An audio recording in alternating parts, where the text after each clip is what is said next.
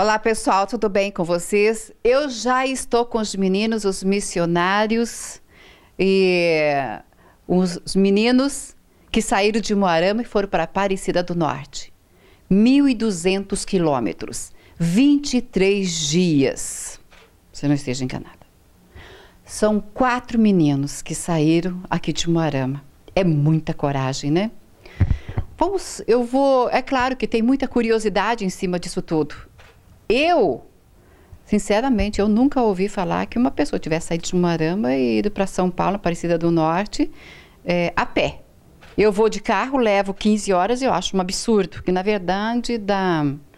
Nós levamos 900 é, quilômetros, mas mil quilômetros. Nós, é, se a gente fizer bonitinho, assim, sem muitas paradas, leva umas 13 horas e meia, né, Denis? Mas nós levamos 15, porque a gente vai parando, uma coisinha bonitinha, a gente, né? E vai lanchando, descansando, tomando um café para né, espantar o sono eu já acho um absurdo. Agora, 23 dias, 1.200 quilômetros. Gente do céu. Aqui eu tenho o Lorival. O Lorival é ex-morador de rua de Moarama. Parece que aqui em Moarama ele ficou na, uns oito anos. Mas ele já está há mais tempo. E é um paulista, né, Lorival?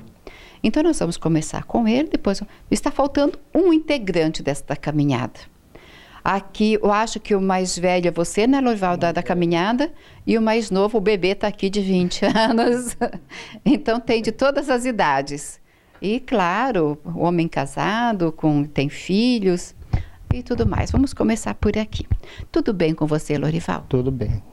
Lorival, você é um ex-morador de rua. E agora, o que, que aconteceu com você? Você, um morador de rua, que geralmente, geralmente o morador de rua, ele já tem por costume de andar de cidade em cidade e vai indo, não é? E vai indo. Pedindo carona não, porque geralmente ninguém dá carona. É a pé. É gastando sola de chinelo, porque vocês usam mais é o chinelo para fazer a caminhada. Agora, o que levou você a fazer essa caminhada junto com os meninos, esses missionários, é, da Casa de Oração, depois nós vamos conversar um pouquinho mais com eles também que levou você a acompanhar eles para a Partir do Norte 23 dias? É porque eu procurei buscar mais em Deus que eu buscar mais as coisas em mim. Porque eu sabia trabalhar, era um pedreiro, eu sempre falava, ah, eu chegar em qualquer lugar, vou trabalhar, vou ganhar meu dinheiro, vou usar minha droga, que nem eu usava, né? Graças a Deus deixei para tomar minha pinga. Aí eu falei, eu vou fiz a promessa de buscar mais em Deus, porque eu não acreditava muito que Deus pudesse tirar eu desse mundo.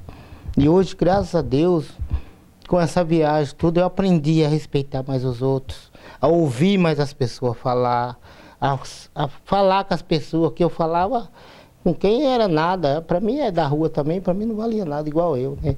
Só que agora eu aprendi que eu sou alguém no mundo, né? Porque eu fiz a caminhada, busquei Deus e estou aprendendo a conviver com Deus, a fazer minhas orações, mesmo do meu jeito ali, mas eu sei que Ele está me atendendo cada dia mais. Porque eu saí daqui num propósito para pedir para Deus, para melhorar minha vida mais do que eu precisava de, um, de uma família, de um lugar. Só que quando eu saí, eu não tinha na minha cabeça que eu já tinha minha família aqui. Eu já estava na casa que me acolheu, já era minha família. E chegando eu aprendi que Deus fala mais comigo. Porque eu, cada dia eu sinto mais que eu aprendi a viver melhor nessa caminhada, nessa solidão na estrada, que nem que nós ia andando, eu ficava para trás, ou saía para frente. Eu tinha aqueles nervosinhos, né? Aí eu ficava ali só pensando. Eu volto, não volto, volto, não volto. Ah, vou, vou que eu prometi para Deus que ia e eu vou cumprir essa palavra. Pelo menos uma coisa bem feita na vida eu ia fazer, que é cumprir essa viagem.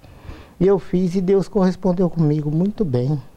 Que bom, e nós ficamos felizes. Isso é fé, né, Lorival? É muita fé mesmo, graças a Deus. O teu nome completo, como é que é? Lorival Marcolino dos Santos.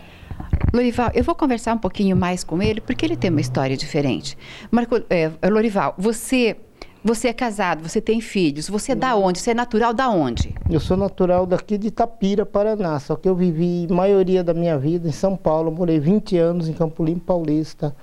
Eu era um bom profissional lá que todo mundo nunca falou mal de mim, eu nunca fui demitido de uma empresa. Eu era um pedreiro, mestre de obra, só que aí veio acarretando divórcio, tudo. Aí eu vinha voltar para o Paraná. Aí chegando aqui, eu me dei de cara logo sozinho, brigando com a família direto, porque eu bebia. Aí eu cheguei comecei a beber direto, cheio de dinheiro, tinha acertado conta lá, cheguei até. Era o pau d'água mais famoso ali. Aí eu dei de cara com o crack. Daí você começou a se envolver com as drogas. Comecei a me envolver com as drogas e fui gastando, gastando. Trabalhava uma semana. Só para manter o vício? Só para manter o vício só. Aí, conhecendo essas pessoas da rua aí, dessa vida aí, aí emendei oito anos nessa vida jogada aí, ó, 15 anos fumando crack. E a tua família, Lorival? O que, que aconteceu com ela? Você vê eles com frequência? Você sabe notícias? Não aceitavam mais. Eu não te aceitaram mais. Não. Quantos filhos você deixou para trás? Não, eu não tinha filhos. Você não? Ah, não, não menos mal. Menos não mal. filhos. Eu fui casada, minha esposa já era bem mais velha, já tinha família constituída, né? Aí eu não tive filhos. Agora você como pedreiro, você, se fosse para você arrumar um trabalho hoje, você sabe trabalhar como pedreiro? Sei, muito bem. Nunca ninguém reclamou comigo, não. Tenho várias pessoas. Faz tudo? Tudo. Tenho várias pessoas aqui em Moarama mesmo. Tenho um Guerê que eu cheguei a trabalhar uns dias com eles, mas acarretado do vício eu não ficava. Eles arrumavam tudo para mim, me davam de tudo, prometiam de tudo, só que eu não acreditava mais. Eu falava, vou ficar aqui, eu vou fumar droga, eu vou vou pisar na bola de novo com eles, então eu preferia ir para outro lugar, trabalhava. Aí quando não estava arrumando nada, eu ficava na rua catando latinha. De vez em quando encontrava o irmão César ali, que ele me dava uma marmita ali. Mas eu nunca contava muito para ele da minha vida, que eu não achava que não interessava para ninguém, né? Aí, mas como pedreiro hoje, eu sou a mesma pessoa, com 27 anos de carteira de profissão e desempregado por causa da situação de eu estar na rua, né? Bom, o Lorival não está mais envolvido com drogas. Se você, empresário, eu sei que tem muitas lojas aí de materiais de construção que indicam pedreiro, até mesmo contratam pessoas, né? Os pedreiros. Aqui nós temos um bom pedreiro. Né? Vamos começar o ano aí já com uma mentalidade diferente, até mesmo contratando ele, dando um trabalho para ele para a sobrevivência dele. Mas nós vamos conversar, ele está amparado hoje pela igreja, graças a Deus.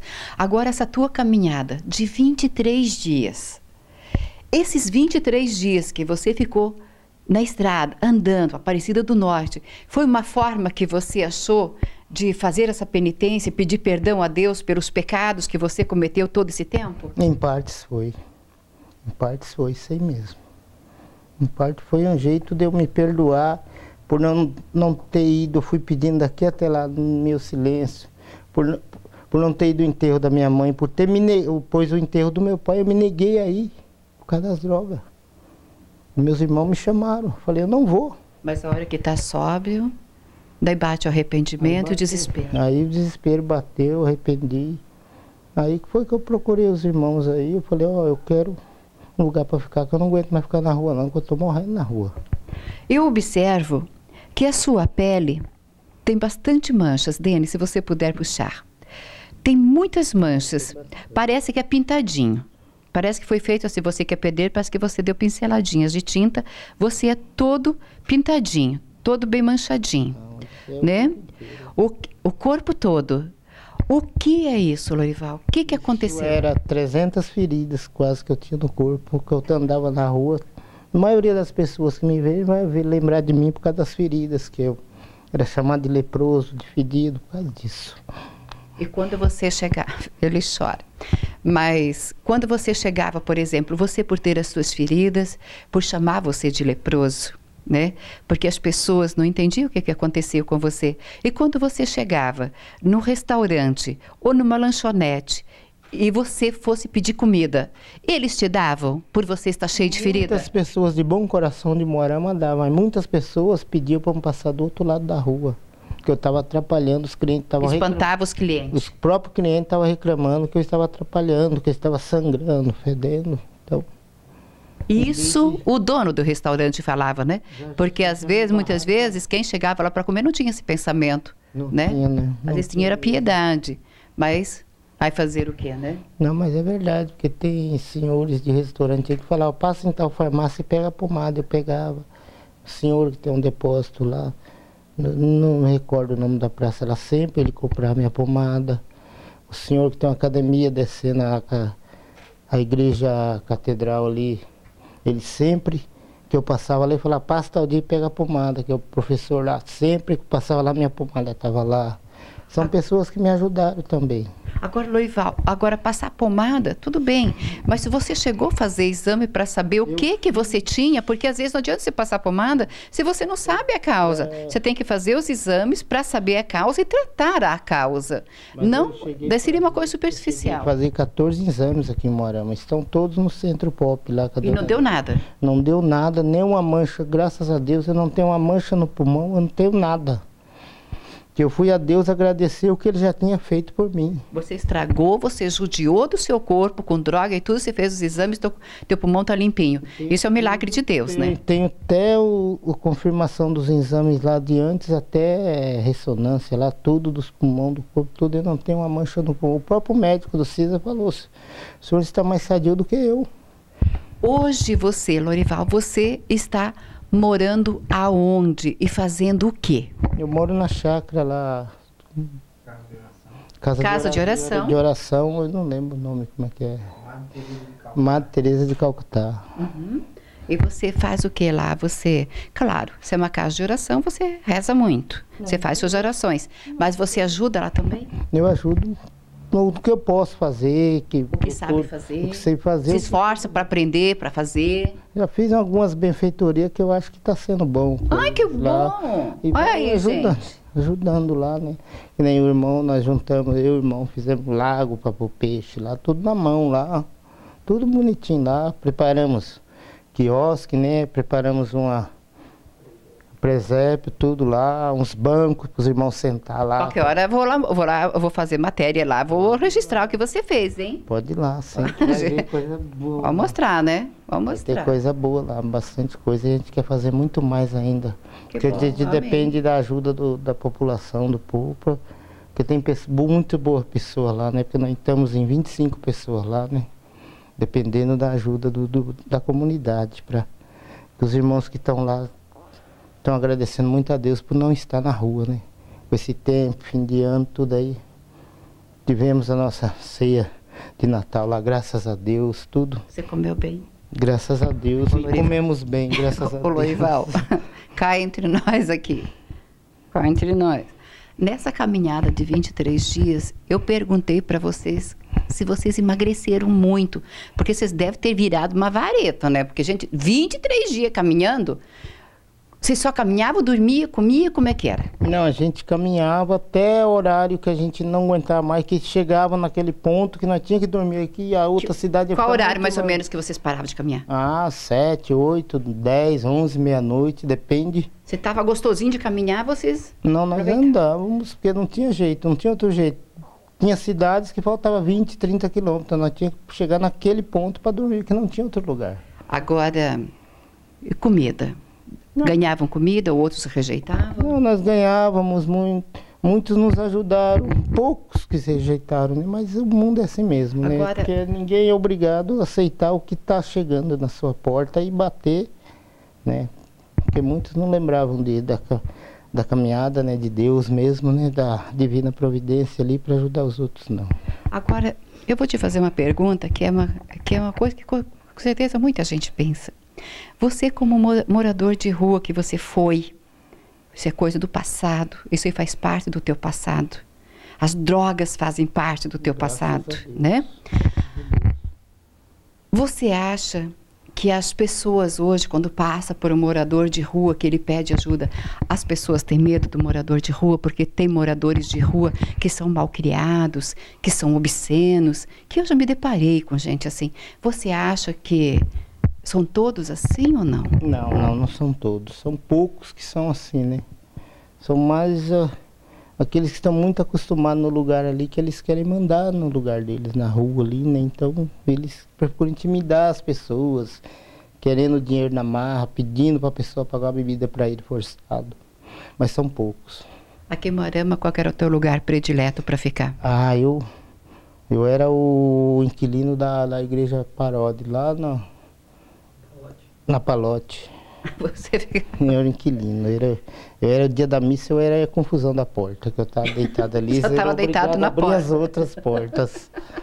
ali eu era... Ainda bem que hoje a gente pode dar risada disso tudo, né? Não, Graças a Deus. Verdade, graças a Deus. Porque tinha noite que eu deitava e chorava, eu pedia para morrer. Eu estava cheio de dor, cheio de ferida, sangrando. Eu tinha que levantar no outro dia, a primeira coisa que eu olhava estava cheio de sangue. Tinha que Agora- pedir outra roupa para trocar. Agora, com todas essas feridas que você. hoje tem as cicatrizes, que cada vez que você olhar isso tudo, elas, essas marcas, é uma história na sua vida. É, né? É uma história, tudo é, é a história do passado, graças a Deus que hoje está só as marcas, é, como muitas coisas que acontecem na vida da gente e que o nosso coração fica marcado, fica o registro no nosso coração e no nosso consciente, no subconsciente, vocês sabem muito bem disso. Hoje, se você arrumar um trabalho, que você tem o teu trabalho legal, que as pessoas possam te dar um trabalho, até mesmo uma reforma em casa, fazer uma varanda, fazer um puxado, fazer uma garagem, coisa assim, que você tiver o seu dinheiro, será que essa hora você não vai ter a vontade de ir para a rua e se envolver com droga de novo? Não, não tenho vontade. Por isso que se alguém me der um serviço, eu não quero sair da Você chácara não- agora, porque a gente sabe. Vai ser a tua morada, é lá que Porque você o quer de- ficar. Isso, porque o dependente químico, ele sempre será um dependente químico. Ele, ele que tem que se policiar para ele não, que nem diz, não tomar o primeiro gole. Porque Isso. se ele tomar o primeiro, ele vai tomar o litro inteiro. Porque tem a tentação, né? Tem, que nem agora fim de ano. Pô, um ex-dependente vai para casa passar com a família. Ele, ah, vou dar um Virada pouquinho... de ano geralmente tem muita bebida de Eu álcool. vou dar um pouquinho de vinho para ele. Aí a família deu, ele já sentiu o gosto. Ah, vou tomar um pouquinho, vou tomar Não um vai pouquinho. fazer mal, né? Aí acabou a festa, ele está embriagado, ele já está viciado de novo. Tá viciado de novo, Não exatamente. adianta. Já amanhece bebendo. É que nem as drogas. Se eu parei, tô há mais de sete meses, fazia três meses que eu tinha parado. Eu vou um pouco, tô dez meses sem a, sem a droga. Como se eu tivesse há nove meses numa clínica.